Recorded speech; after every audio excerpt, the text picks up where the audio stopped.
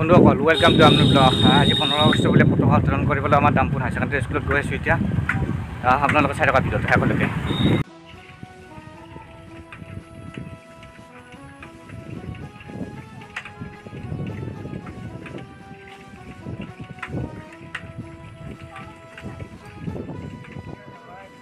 পাই গ'লোঁ দামপুৰ উচ্চতৰ মাধ্যমিক বিদ্যালয়। ইয়াতে আমি পতাকা উত্তোলন কৰিম পোন্ধৰ আগষ্টৰ আপোনালোকে এই ৰুমটো যি দেখিছে এইটো ৰুম ফাইভৰ ৰুম আছিল। মই তাতে পঢ়িছিলোঁ আগতে পুৰণা আছিল এতিয়া নতুনকৈ বনাইছে ৰুমটো বিদ্যালয় পৰিচালনা সমিতিৰ মাননীয় সভাপতি মহোদয় বিদ্যালয়ৰ শিক্ষক শিক্ষয়িত্ৰী লগতে ছাত্ৰ ছাত্ৰীসকল আজি আমাৰ দেশৰ পঁচাত্তৰতম স্বাধীনতা দিৱস। আজি এই স্বাধীনতা দিৱসৰ কাৰ্যসূচী আমি বিদ্যালয়ত পালন কৰিবলৈ ওলাইছোঁ। পোনপ্ৰথমে মই আমাৰ বিদ্যালয়ৰ অধ্যক্ষ মহোদয়ক আজিৰ এই কাৰ্যসূচীৰ শুভাৰম্ভ কৰিবলৈ পতাকা উত্তোলনেৰে এই কাৰ্যসূচী আৰম্ভ কৰিবলৈ মই অধ্যক্ষ মহোদয়ক অনুৰোধ জনাইছোঁ। আৰু লগতে তেখেতক এই পঁচাত্তৰতম স্বাধীনতা দিৱসৰ লগত সংগতি ৰাখি তেখেতক এটি থুলমূল ভাষণ ৰাখিবলৈ অনুৰোধ জনাইছোঁ ধন্যবাদ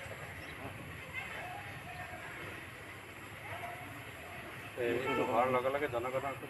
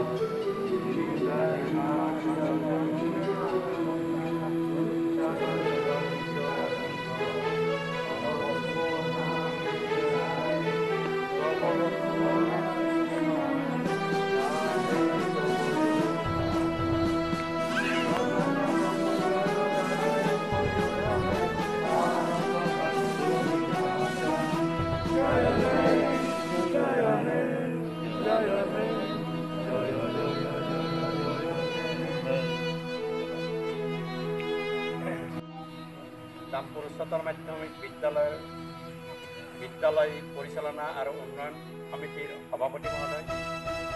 আমাৰ বিদ্যালয়ৰ শিক্ষকবৃন্দ বিদ্যালয়ৰ ছাত্ৰবৃন্দ বিদ্যালয়ৰ প্ৰাক্তন ছাত্ৰবৃন্দ আজি আমি ইয়াতে সমবেত হৈছোঁ যে ভাৰতবৰ্ষ যিটো স্বাধীনতা দিৱস সেইটো পঁচত্তৰতম স্বাধীনতা দিৱস উপলক্ষে আমি যিবিলাক বীৰ বীৰাংগনাৰ ত্যাগৰ বিনিময়ত আমি এই স্বাধীনতাটো লাভ কৰিবলৈ সক্ষম হৈছোঁ তেওঁলোকক সোঁৱৰণৰ উপলক্ষে আজি আমাৰ উচ্চতৰ মাধ্যমিক দামপুৰ এই বিদ্যালয়ৰ পৰা তেখেতসকলৰ আমি সশ্ৰদ্ধ প্ৰণিপাত জনাইছোঁ।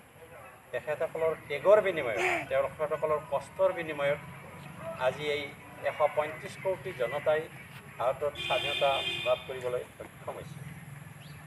ঊনৈছশ সাতচল্লিছ চনৰ পোন্ধৰ আগষ্টত আমাৰ ভাৰতবৰ্ষই ব্ৰিটিছ শাসনৰ পৰা মুক্ত হৈ সম্পূৰ্ণ মুক্তভাৱে এখন গণতান্ত্ৰিক গণৰাজ্য হিচাপে প্ৰতিষ্ঠা দিৱস প্ৰতিষ্ঠা লাভ কৰে। আৰু তেওঁলোকৰ ঊনৈছশ পঞ্চাছ চনৰ ছাব্বিছ জানুৱাৰীৰ পিছত সংবিধান প্ৰদত্ত হয় আৰু সেইমতে আজি আজি ভাৰতবৰ্ষ আমাৰ চলি আছে। গতিকে মই এইটো ক'ব গৈছোঁ যে তেওঁলোকৰ যিটো কষ্ট ত্যাগ সেই কষ্টৰ বিনিময়ত আজি আমি এই ধৰণৰ স্বাধীনতা লাভ কৰিবলৈ সক্ষম হৈছোঁ। ব্ৰিটিছৰ শাসনকালত আপোনালোকে প্ৰত্যেকে জানে যে মহাত্মা গান্ধী যেতিয়া দক্ষিণ আফ্ৰিকাত যায় তেওঁক ব্লেকমেন বুলি ক'লা মানুহ বুলি ট্ৰেইনৰ পৰা গতিয়াই বাহিৰ কৰি দিছিল ব্ৰিটিছে। আৰু এই সেই সকলোবিলাক সহ্য কৰি কষ্ট স্বীকাৰ কৰিও তেওঁ ব্ৰিটিছক অহিংস আন্দোলনেৰে খেদিবলৈ সক্ষম হৈছিল। লৌহ মানৱ চৰ্দাৰ বল্লভ ভাই পেটেল আমাৰ অসমৰ কনকলতা বৰুৱা তেওঁলোকে এই পতাকা উত্তোলন কৰিবলৈ যায় সেই ষোল্ল বছৰীয়া ছোৱালী তেওঁলোকে পুলিচৰ গুলি বুকুত পাতি মৃত্যুবৰণ কৰিছে। গতিকে এইবিলাক হৈছে টেগ। এই টেগবিলাক তেওঁলোকে আমাৰ কাৰণে কৰিছে। তেওঁলোকৰ স্মৰণত আমি এইখিনি কাম কৰিছোঁ। গতিকে মই এইখিনি আমাৰ ল'ৰা ছোৱালী আমাৰ ছাত্ৰসকলক এইটো যে আমাৰ যিটো দেশৰ সাৰ্বভৌমত্ব দেশৰ প্ৰতি যিটো আমাৰ দায়বদ্ধতা এইটো তেওঁলোকে মানিব লাগে আৰু যিটো আইন শৃংখলা যিটো নিয়ম নীতি এই নিয়ম নীতি মতে আমাৰ মাৰি মানি আমাৰ দেশখনক আমি ভাল পাবলৈ আমি সক্ষম হ'ব আৰু তেতিয়াহে আমি এটা সুনাগৰিক হিচাপে প্ৰতিষ্ঠা লাভ কৰিব পাৰোঁ ধন্যবাদ। আমি অধ্যক্ষ মহোদয়ক ধন্যবাদ জ্ঞাপন কৰিছোঁ ইয়াৰ লগে লগে আমি বিদ্যালয় পৰিচালনা কমিটিৰ মাননীয় সভাপতি মহোদয়ক দুআষাৰ ভাষণ ৰাখিবলৈ অনুৰোধ জনাইছোঁ। চৈদে ঊনৈছশ পঁয়সত্তৰ ঊনৈছশ সাতচল্লিছ চনৰ পোন্ধৰ আগষ্টৰ দিনাই আমাৰ ভাৰতবৰ্ষ স্বাধীন হয়। তেখেতসকলৰ ত্যাগৰ বিনিময়ত আৰু দুশ বছৰ ব্ৰিটিছে আমাৰ দেশখন শাসন কৰিছিল। এই দুশ বছৰৰ পিছত আমি মুক্তি লাভ কৰোঁ। ইয়াৰ কাৰণে বিশেষকৈ আমাৰ জাতিৰ পিতা মহাত্মা গান্ধীৰ নামটো আমি ল'ব লাগিব। তেখেতৰ নেতৃত্বতে অসহযোগ আন্দোলন, ভাৰত ত্যাগ আন্দোলন লগতে আইন অমান্য আন্দোলন ইয়াত বহুতে শ্বহীদ হৈছিল, বহুতে ৰঙা ঘৰৰ আলহীও হৈছিল। তেখেতৰ লগতে আমাৰ সুভাষ চন্দ্ৰ বসু চৰ্দাৰ বল্লভ ভাই খান আব্দুল গফ্ফাৰ খান তাৰপিছত জৱাহৰলাল নেহৰু, ৰাজেন্দ্ৰ প্ৰসাদ এইসকল ব্যক্তিয়ে তেখেতক সহযোগ কৰিছিল আৰু তেখেতসকলৰ আলপ্ৰাণ চেষ্টাত ঊনৈছশ সাতচল্লিছ চনৰ পোন্ধৰ আগষ্টত ব্ৰিটিছে আমাৰ দেশ এৰি যাবলৈ বাধ্য হয় আৰু তেতিয়াৰ পৰা আমি স্বাধীন হওঁ। আৰু সেইটোৱে সেই পৰম্পৰাটো অৰ্থাৎ পোন্ধৰ আগষ্টতো আমি এই স্বাধীনতা দিৱস হিচাপে আজি পৰ্যন্ত পালন কৰি আহিছোঁ প্ৰত্যেক নাগৰিকে ইয়াৰ তাৎপৰ্য ভালদৰে উপলব্ধি কৰিছে আৰু এইটো কৰাটো আমাৰ এটা ধৰ ইছ্যু বা ধৰ্ম হেৰি দিৱস হিচাপে আমি পালন কৰি আহিছোঁ। এইখিনি কৈ মোৰ বক্তব্য সামৰণি মাৰিছোঁ